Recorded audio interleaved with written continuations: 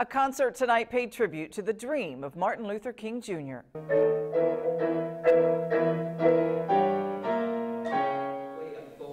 The special performance took place at Indiana State University. It featured a percussion professor, 11 students, 8 faculty members, and 3 visiting artists.